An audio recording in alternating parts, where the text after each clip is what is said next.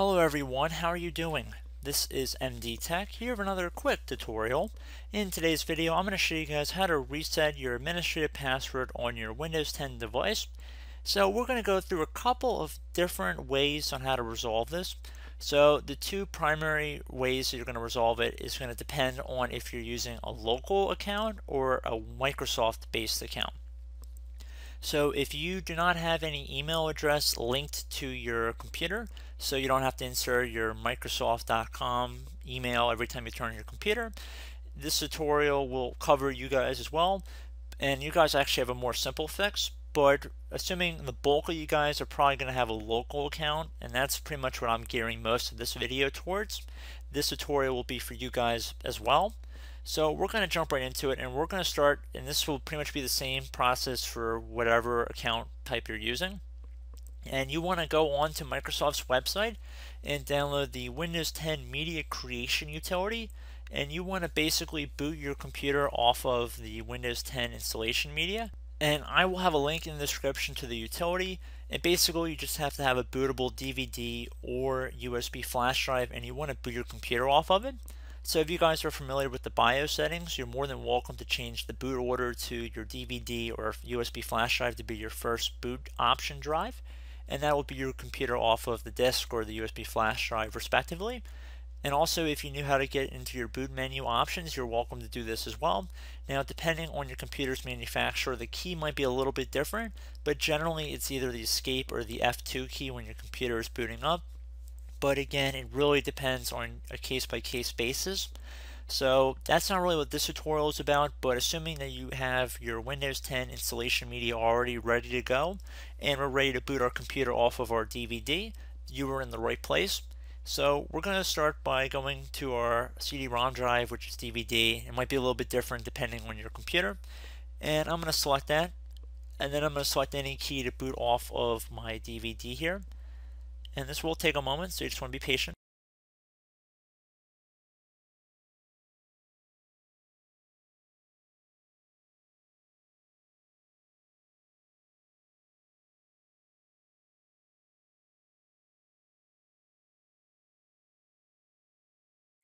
And then once you're on the screen, you want to hold down the Shift and the F10 key on your keyboard at the same time. So Shift and the F10, only those two keys. F10 is a function key on the top of your keyboard. I'm not telling you to tap the F key and the 10 key. It's one key. So hold down the shift and the F10 to open up the elevated command line window. And now you want to type in disk part, one word. And then once you're typing that in, and keep in mind disk is spelled with a K. So disk part, once you're done doing that, you want to hit enter.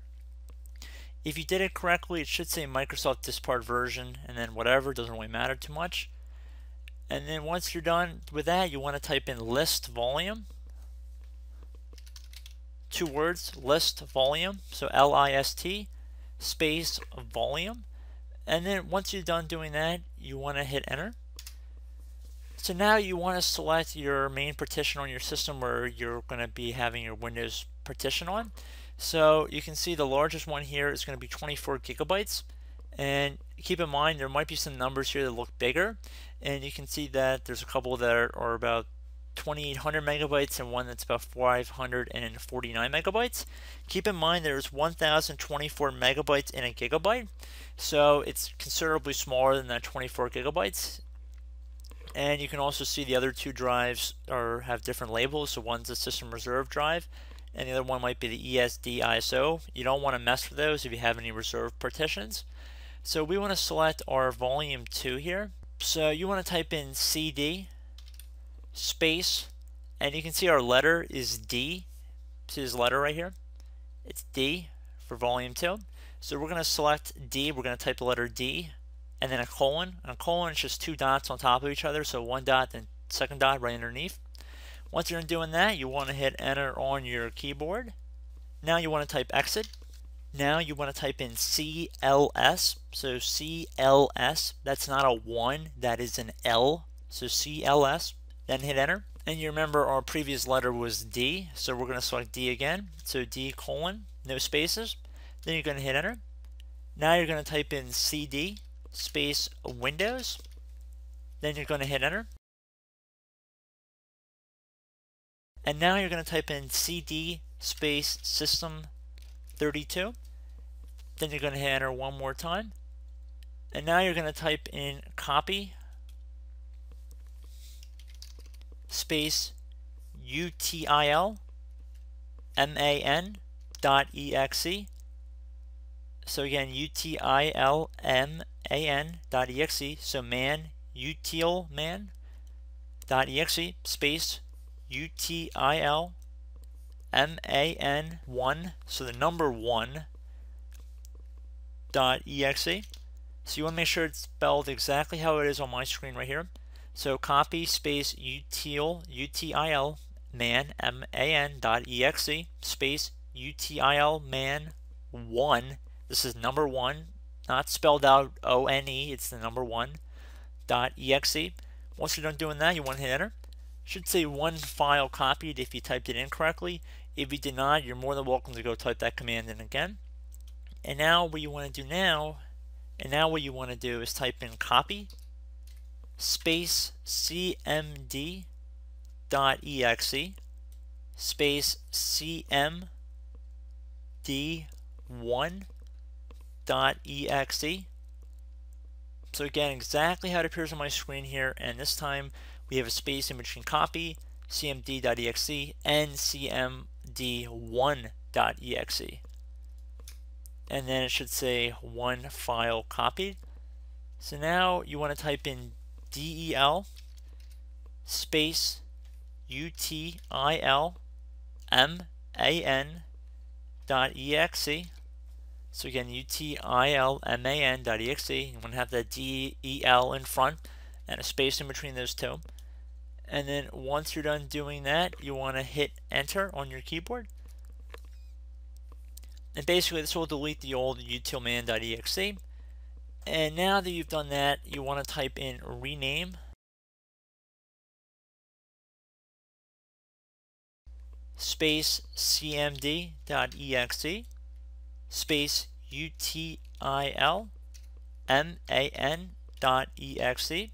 So again, rename space cmd.exe, another space util man.exe, exactly how it appears on my screen. Then you want to hit enter.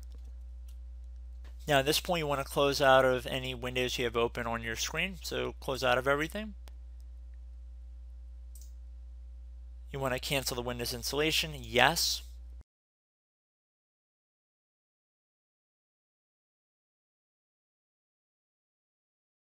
Now, if you have a lock screen, you want to scroll up the screen just like you normally would. And then when you're on a screen that appears like this, you want to go down to the ease of access icon down here where it looks like a little clock. It should be the middle icon.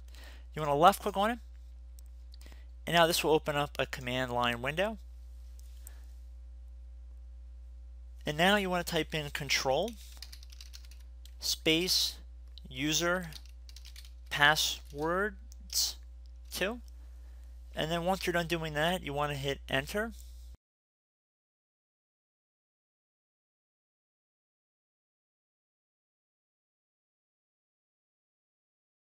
Now you want to left click on the username listed here. And then underneath password, you want to left click on reset password. And there you go guys, simple as that. Enter in your new password. And then confirm the new password. Then click on OK. Click on OK again. And then you can close out of this command line window. Type in your new password. And there we go guys, the computer should log us into Windows. So I should note if you are not using a local account and you're using a Microsoft account, instead of doing what we showed in this tutorial, a little bit of a modification, you want to type into the command line window when we're back in the troubleshooting view, you want to type in net user administrator active. So again, net user administrator active. And then this will create an administrator account that is visible to you. And I recommend signing into that account and then you can go in and delete the other email account if you're unable to get in. So it's pretty easy to do that and you would be able to probably change the password of the other account once you sign in with the administrative account. So that's for the Microsoft account method. But I do hope this brief video was able to help you guys out. And as always, thank you guys for watching and I look forward to catching you all in the next tutorial. Goodbye.